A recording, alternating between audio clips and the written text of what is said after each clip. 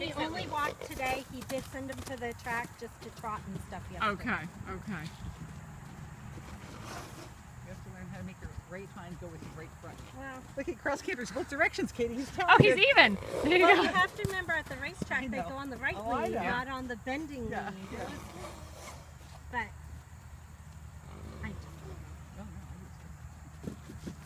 no, I. Woo! That's some big air. Don't hurt yourself. Not allowed. well, he he was out here until a month or two ago. So Out here?